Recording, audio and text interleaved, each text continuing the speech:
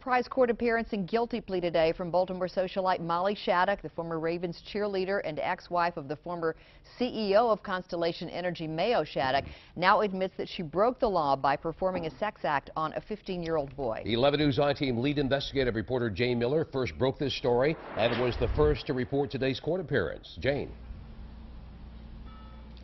Molly Shattuck was originally supposed to appear in court here in Sussex County, Delaware tomorrow. Today's hearing got put on the court schedule at the last minute, as if one court observer told us it was intended to keep her appearance under the radar. We made sure that didn't happen.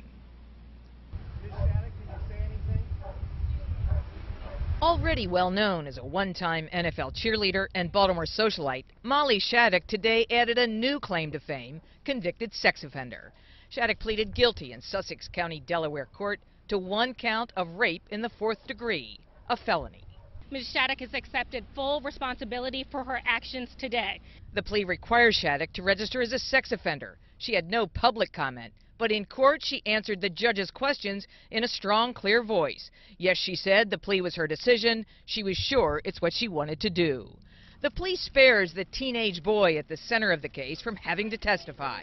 Shattuck now admits she performed a sex act on him when he was 15 years old in a Bethany, Delaware beach house she rented for her and her children last Labor Day weekend.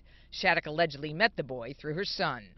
Other charges that have been filed against Shattuck, including providing alcohol to minors, have gone away.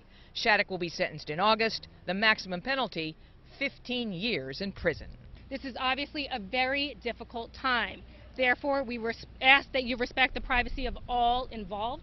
It would not be appropriate for me to make any further comments at this time. Shattuck's lawyer asked for a pre-sentence investigation between now and the sentence date near the end of August. She is a first-time offender, which will work to her benefit in arguing to stay out of jail. The crime of fourth-degree rape does not carry a minimum sentence. Reporting live tonight from Sussex County, Delaware, I'm Jane Miller, WBAL TV 11 News. And Jane, thank you.